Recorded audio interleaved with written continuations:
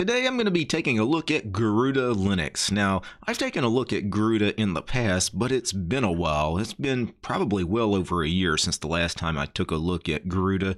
Typically when I look at it, I take a look at their KDE edition, which is just gorgeous because of some of the artwork and the blurring and the animations. You know, KDE has some nice fancy effects. But one of the things about Garuda is they have a lot of different desktop editions, and I wanted to check out something that wasn't KDE or GNOME because I, I, wanted to see how they do some of the more minimalist desktop environments because they do offer other editions. They offer uh, Cinnamon, XFCE, Mate, LXQt. And today, what I'm going to do, I'm going to take a look at Garuda Mate because Mate is basically a fork of the old GNOME 2 desktop environment.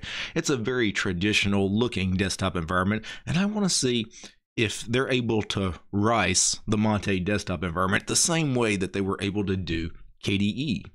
So I've downloaded the ISO for Garuda Mate and I've loaded up this virtual machine here and this uh, boot screen is very reminiscent of the Manjaro boot screen because you have your time zone, key table, language that you can set, and then you have two choices boot with open source drivers or boot with proprietary drivers. That's very important.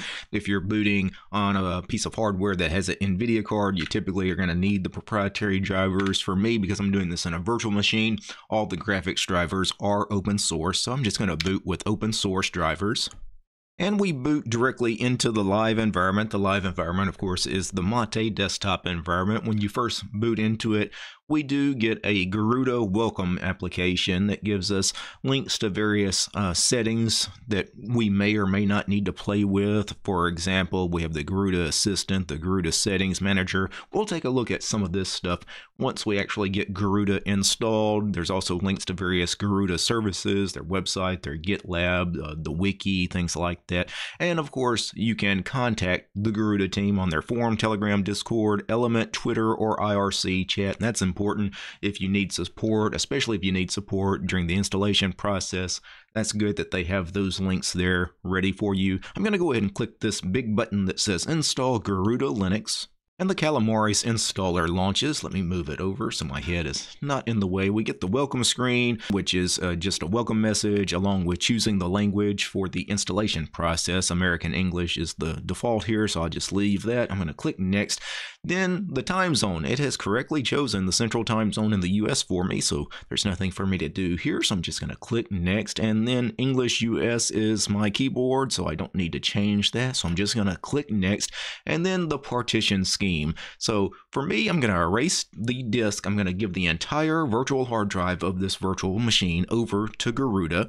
Uh, if I wanted to do a manual partitioning, you know, I could click manual partition and then click next and then partition the drive myself. But I'm going to do erase disk also. Do we want swap or no swap? For purposes of this virtual machine, just because I'm limited on space, I'm not going to create a swap. If you're doing this on physical hardware, you probably need to create a swap. So I'm going to click next. Now, let me go ahead and create my username. My user is going to be DT, and then the name of the computer, the host name, I'm going to call this Garuda-Vert. And then let's create a strong and complicated password for the DT user. And then repeat the strong and complicated password for the DT user. And then Log in automatically without asking for a password. That's ticked off by default. I'm going to leave that ticked off. You should have to enter a password to enter any computer just for privacy reasons. And then use the same password for the administrator account. That's ticked on by default. I'm going to leave that ticked on. That means my sudo password and my user's password are the same. That way I don't have to remember two different passwords. So I'm going to click next.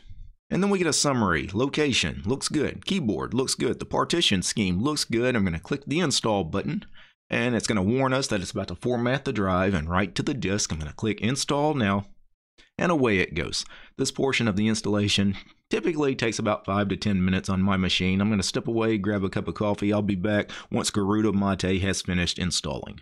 And the installation has completed, so I'm going to click on the box here that says restart now. I'm going to tick that on and then I'm going to click done and it should automatically reboot the virtual machine.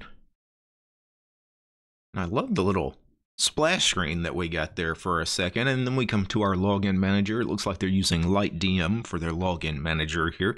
So let me go ahead and log in to the Mate desktop environment And we're logged into our freshly installed Garuda Linux Mate edition. We have the Garuda Setup Assistant. I do notice the screen resolution is not quite right. I'd like to change that to a 1920 by 1080 resolution, but let's run through the assistant and see if that straightens the problem out for us. I'm going to click OK, and it says, uh, well, it's asking for sudo password. I'm assuming it's going to update the system. It's probably what it's about to do. Yeah, it's doing a sync of the repositories. Now, this ISO that I downloaded was about one month old, so one month old on an Arch Linux based distribution, a rolling release distribution, there's going to be some packages that need to be updated. So this may take a few minutes.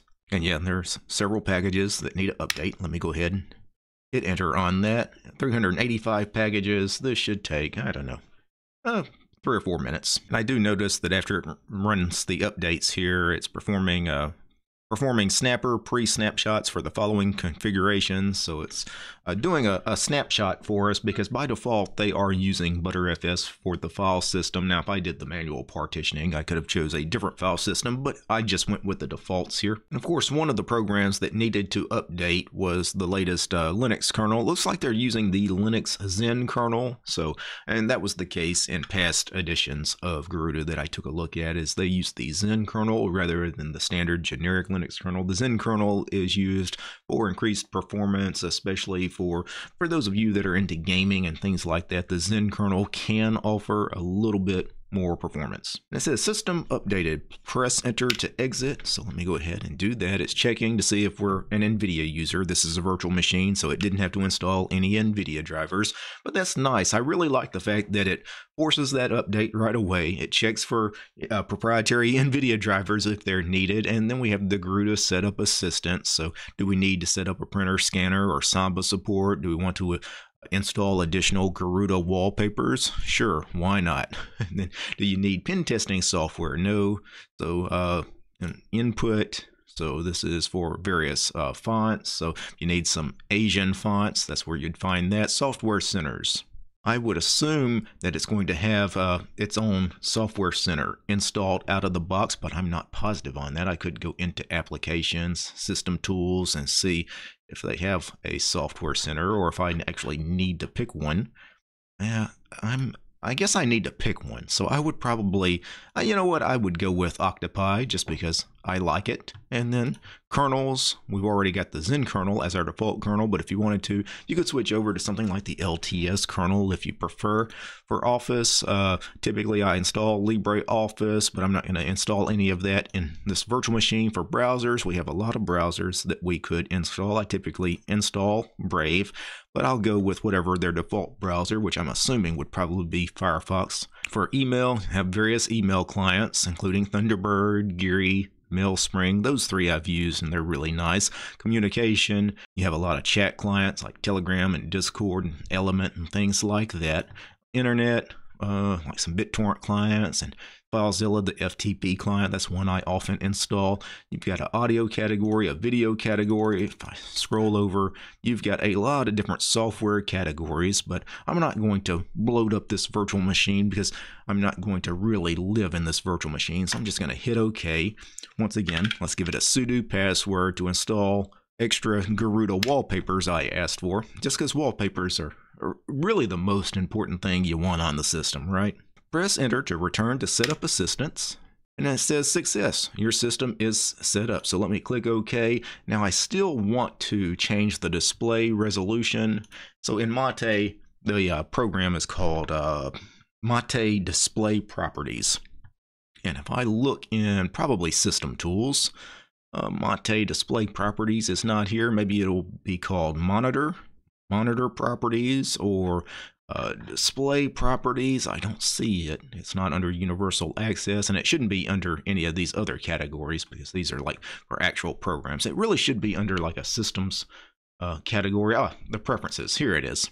Look and feel. Have appearance. That's not it. Mate tweak. That's probably not it either, but let me click on it just to verify that that is not it. Why can I never find this? You know, this I've had this problem in the past finding uh, this. This is the Mate Control Center. Maybe I could get to it from here. You would think it would be under look and feel, and there would be something about uh, monitor settings, monitor properties, display properties. You know what? I'm just going to go.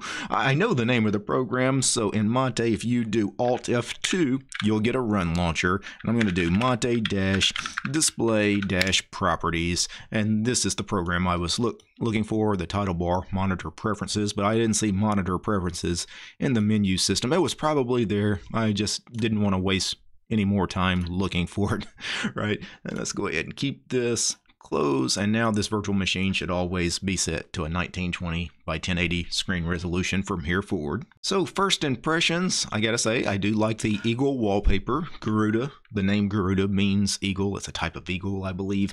Uh, the GTK theme they're using and the Mate theme, you know, it does look nice. The icon set, it's really quite attractive. Uh, still got that old school GNOME 2 kind of look and feel.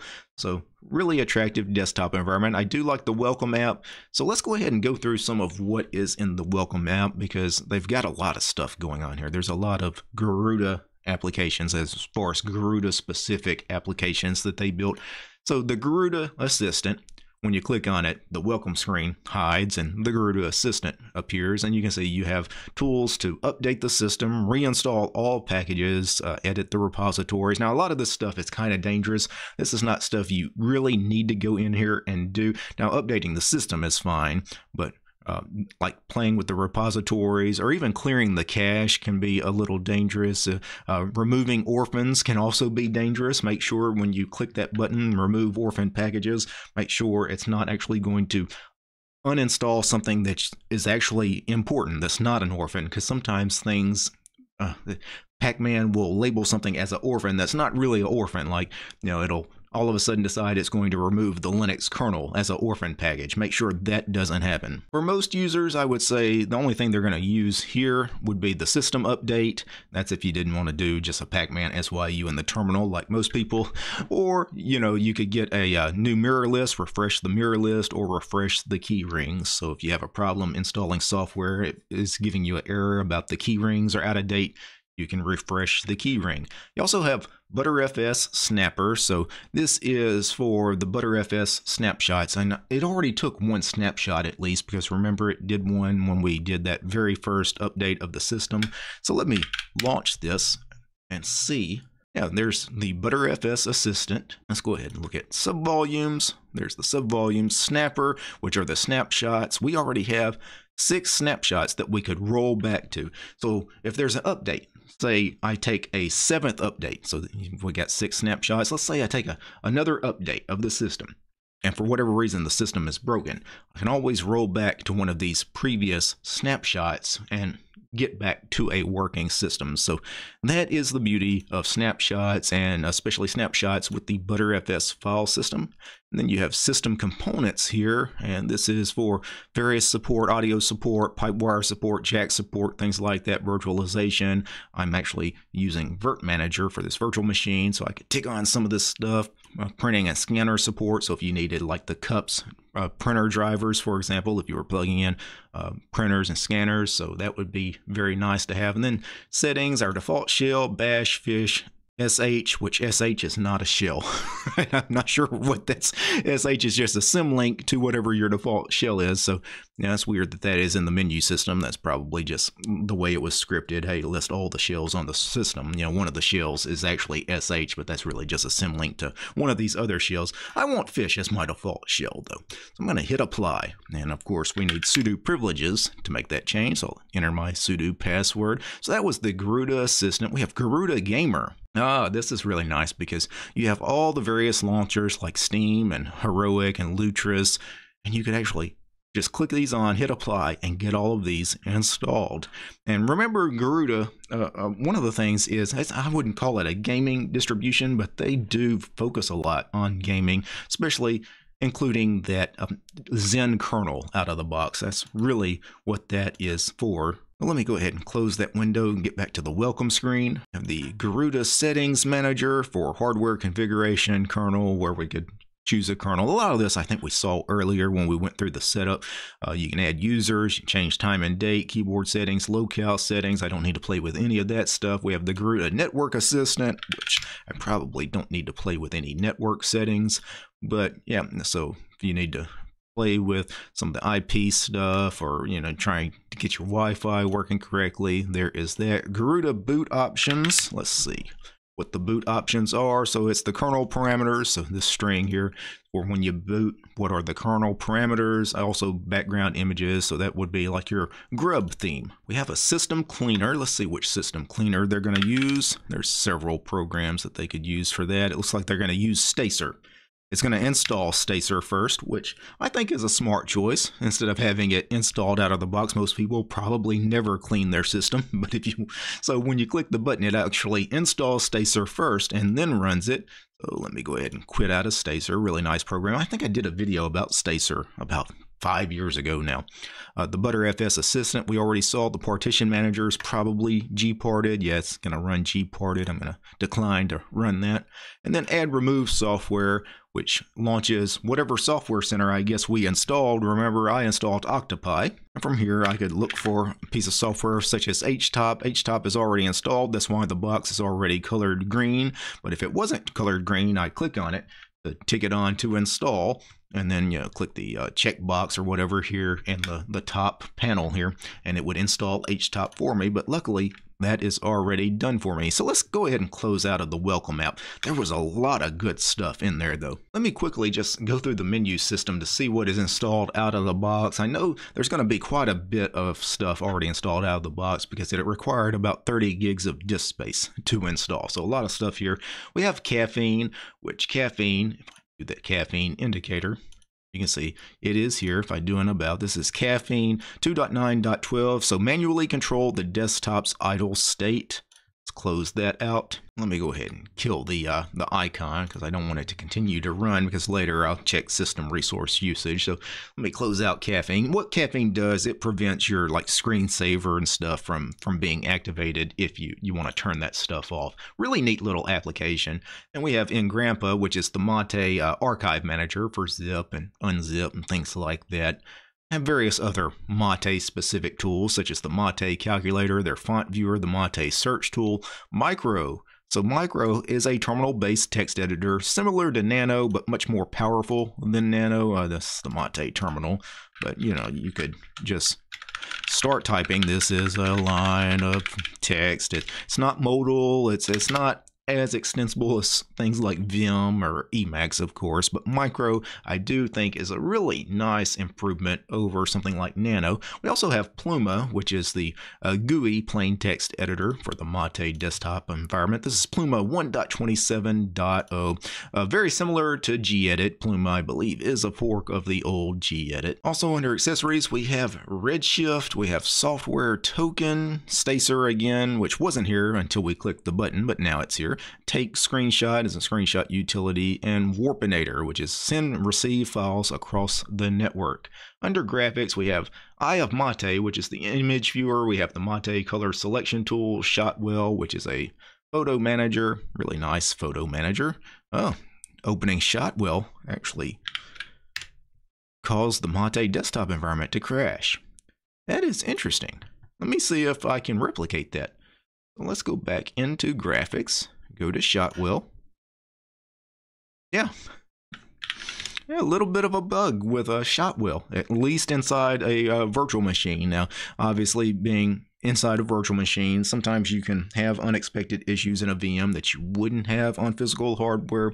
But uh, I'm glad I got that on camera just in case anybody from Garuda is watching. Under the internet category, let's see what we have here. We have Fire Dragon. So I'm assuming that is a rebranded Firefox for a web browser. Yeah, so it's Firefox rebranded to Fire Dragon. I'm assuming they had to rebrand it just because they made some minor tweaks to it, probably for things like uh, privacy. Maybe they included some extra plugins that, of course, Firefox wouldn't ship out of the box. And because you ship it modified, you have to fork it and rename it. So they renamed theirs Fire Dragon 112.0.2. So pretty cool. And actually, we do get a welcome screen here to let us know exactly what they did add. They added some plugins such as Honey, which is a product of PayPal, uh, Dark Reader, which a lot of people like having Dark Reader on their web browsers. Pretty cool. Uh, theme generation modes. I'm not sure what this is. Like it's some more filters for Dark Reader. Yeah, cool stuff. So Fire Dragon Other than that, under internet, we had Thunderbird for our email client and transmission for the BitTorrent client under Office. Nothing here. We have our PDF viewer, which is Atril and the Mate Dictionary. Under programming, uh, we have Meld, which is like a diff program. So uh, a diff, if you've ever run diff in the terminal, this is a GUI version of diff. It just, you take two files and it shows you the differences between those two files as far as line by line, what is different. Micro, again, is here. Under sound and video, we have Celluloid for a video player, MPV for a video player, Pulse Audio Volume Control, Rhythm Box for an audio player, so let's check out Rhythm Box. Wow, Rhythm Box also crashed. You know, and that is interesting that both Shotwell and Rhythm Box crashed because both Shotwell and Rhythm Box are actually GNOME applications. They're part of the GNOME suite of software where all the Mate applications, let's actually open some of them, such as the Mate calculator, you know, the Mate calculator and the Mate terminal. Er, earlier, we opened that Engrampa, which is a Mate specific tool. Yeah, so I'm assuming some of the GNOME specific applications are the problem. Celluloid. Now, celluloid I thought was a part of the GNOME project, but I am not sure on that. But it did open correctly. Yeah, something is going on there though. Under System Tools, we have Caja for the file manager. A very nice file manager, fork of the old uh, Nautilus before GNOME kind of ruined Nautilus. The modern versions of Nautilus are actually pretty bad. We have Alacritty for our terminal. So now this is not the same terminal we saw earlier because I think by default the Mate terminal is the default terminal. But if you wanted, obviously they have Alacritty, which they have a lot of transparency going on and that I'd have to adjust the transparency because that's kind of hard to read, especially against this particular wallpaper. But Alacritty looks like by default it reads NeoFetch. There is a problem with their Alacritty config. Uh, looks like it's using an older config and they have something set for decorations theme variant. That particular variable, I guess, is no longer part of the config. It's deprecated, so the Garuda Mate team need to probably just remove that line from their config.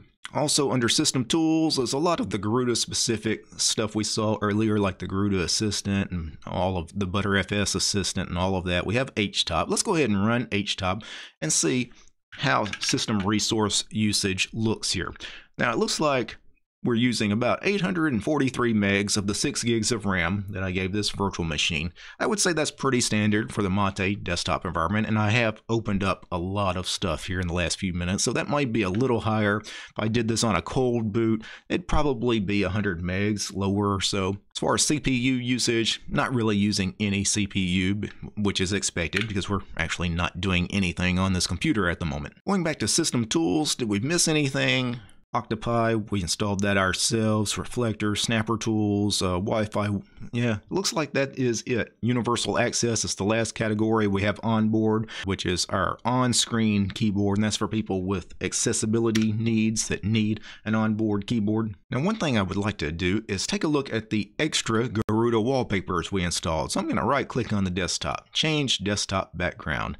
Let's actually take a look at some of these wallpapers. So there is Cosmos, white-tailed eagle, but I know we installed an extra backgrounds package. I probably need to click add and go find the directory that it actually installed these to. So I'm going to assume that the directory they installed this to probably going to be in the root file system slash user slash share slash backgrounds and then Garuda dash backgrounds. Yeah, there's a lot of extra wallpapers in this directory. I'm going to uh, click open here. And now, yeah, we get all of these extra wallpapers here. Well, actually, we just got the one. So let me actually go back.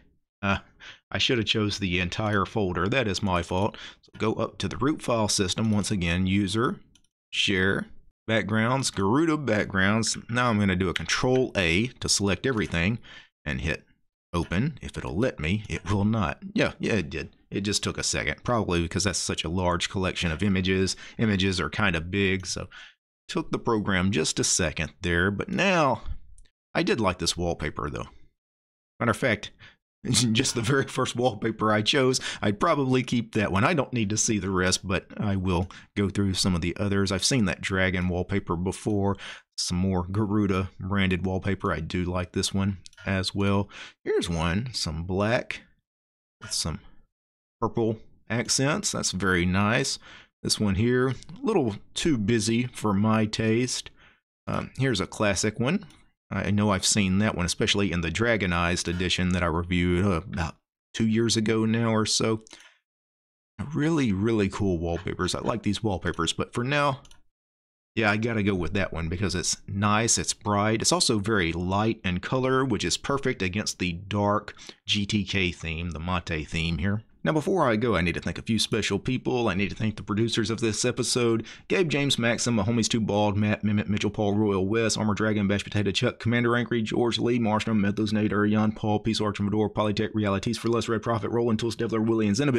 These guys, they're my highest tiered patrons over on Patreon. Without these guys, this episode about Garuda Mate would not have been possible. The show's also brought to you by each and every one of these fine ladies and gentlemen all these names you're seeing on the screen right now, these are all my supporters over on Patreon. I don't have any corporate sponsors. I'm sponsored by you guys. If you like my work, want to see more videos about Linux and free and open source software like Garuda Mate, subscribe to DistroTube over on Patreon.